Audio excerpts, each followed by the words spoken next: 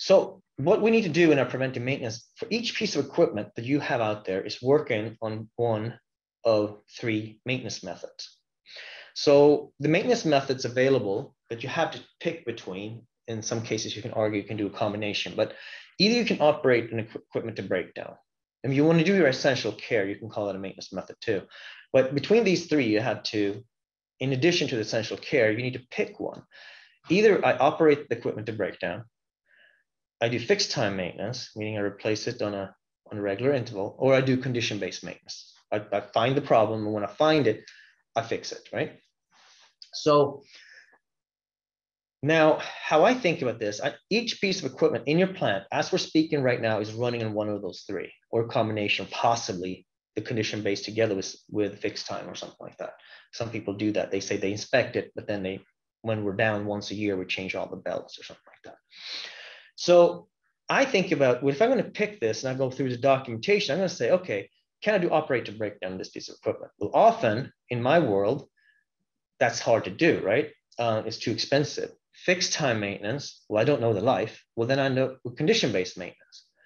And then I implement condition based maintenance. If I can't technically do that, if I can't do that, uh, the condition based, technically I can't inspect. Then I have, I'm back to operate to breakdown or fixed time. I have to pick you know, between pest and cholera kind of thing. Yes, fixed time is like I, I change it out every six months. I'm, I'm going to replace oil every six months, or I'm going to replace uh, something on a fixed time just every six months, every two years, rebuild it, whatever. So if you put all this together logically, and if we use the failure developing period together with our, with our different maintenance methods, so if you think about a random, unpredictable failure, we don't know the life of the equipment but we do have a failure developing period. So I don't know when the failure is going to happen, but I do have a failure developing period. I'm probably going to do condition-based maintenance. Makes sense. And I don't need these seven different patterns. I just need to know if I can predict it or not. If it is random, I don't know when it's going to happen. And I don't have a failure developing period. Well, I don't know when it's going to happen. I don't have a failure developing period. I'm lost, right? I'm going to have to operate to breakdown. I'm not going to have a choice. What I can do is I can plan the work I can't schedule it, but I can plan it. I can get the part tools, I can get the, the, the, safety instructions, I can get how to do the job, everything ready, put it right next in the box, next to a piece of equipment. So when it happens, I can do it. At least I planned it, I didn't schedule it. Um, if I do know the failure developing, uh, if I know the life somewhat on the piece of equipment and I have a failure developing period, like our car tires, typically we do condition-based maintenance unless it's very expensive to do that. There's some instances where we know the life, but it's very expensive to do condition-based maintenance.